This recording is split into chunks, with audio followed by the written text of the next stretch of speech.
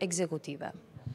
Jo, nuk është dashur kaq vite që të bindem, ajo është vërtetu pastaj nga gjykata kushtetuese si e para, dhe si e dyta gjithmonë ka qenë në premisat se asociacioni siç kërkohet edhe sot nga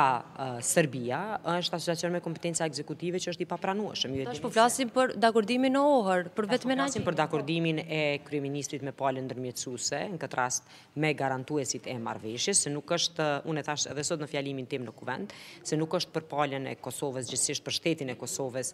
garantues i suksesit të procesit të integrimit Serbia me realizimin apo me zbatimin e marrëveshjeve, por është ndërmjetësi ndërkombëtar, në këtë rast Bashkimi Evropian dhe Shtetet e Bashkuara të Amerikës. Po, dhe kur do të nisë zonja Kusari zbatimi i marrëveshjes, sepse një gjë e tillë po kërkohet në vazhdimësi, edhe sot zoti Borrell e kërkoi,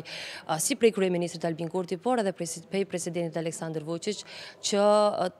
Të mos flasin më një gjuhë, ta fajsojnë njëri-tjetrin, po të nisin zbatimin e ujdisë. Kur do të nisë? Gjuha besoj që është pjesa e cila gjithmonë përkeqësohet ose sfidohet nga ana e Vuçiqit. E kemi pa presidentin Vuçiq momentin kur ka dalë nga takimi në Ohër, çfarë gjuhe ka përdor dhe cila ka qenë qasja e tij. Përderisa Kosova ka tregu gadishmëri dhe vullnet të vazhdueshëm që të ketë një qasje e para konstruktive dhe e dyta me llogaridhënie dhe transparencë në zbatimin e marrëveshjes, për atë edhe është ofru nënshkrimi të cilin Serbia nuk e ka pranu, por që sa i përket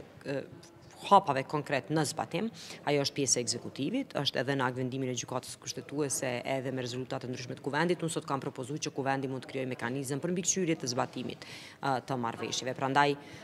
besoj që kryeministri dhe qeveria janë të vedijshëm për obligimet të cilat i presin në raport të zbatimit të marrëveshjes dhe natyrisht duhet parë edhe seriozitetin edhe përkushtimin e ndërmjetësve në situatat kur kjo gjë nuk ndodh nga ana Serbisë. Pra, aktualisht nuk dihet një afat kohor se kur do të nisë zbatimi i marrëveshjes, meqë s'ka edhe nënshkrim të saj,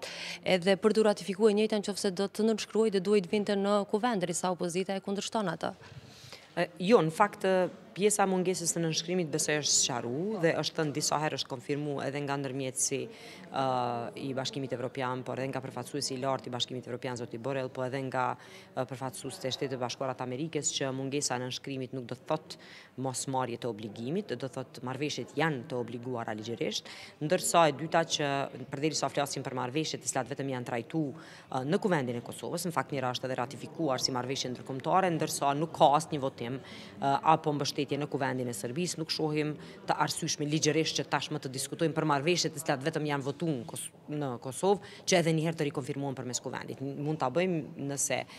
fillojmë mbikëqyrjen e zbatimit të marrëveshjeve dhe eventualisht me nxjerrjen e ndonjë rezolutë ose dokumenti që mund të jetë obligativ për qeverinë e Kosovës pastaj të sjellim në kuvend. Aktualisht, për këtë çka po kundërshton opozita nënshkrimet e tyre dikur, të cilat tashmë janë një pjesë e dëmeve të asaj kohe janë sanuar nga vendimi i gjykatës kushtetuse dhe natyrisht nga rrethanat e reja. Po flasim për një situatë në cilën Evropa e vitit 2022-2023 nuk është më e njëjta, pas pushtimit të Ukrainës nga ana e Rusisë, gjegjësisht invazionit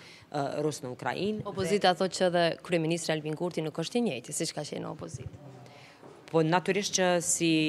opozitar, jo vetëm kryeministri Kurti, po, po them ndodh në, në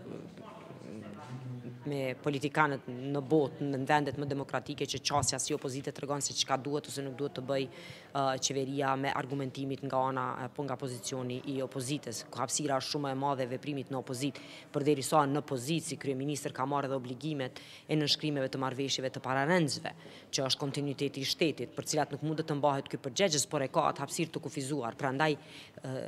hapësirën për të vepruar sot kryeministri Kurti e ka të dizajnuar nga tjerët që para tij që kanë qenë në atë zyre dhe në atë ulëse. Po a e ka ditë këtë kryeministri Albin Kurti, sepse opozita në vazhdimësi tash e akuzon që ka ndryshuar qëndrim pikërisht çështjet, të cilat i ka kundërshtuar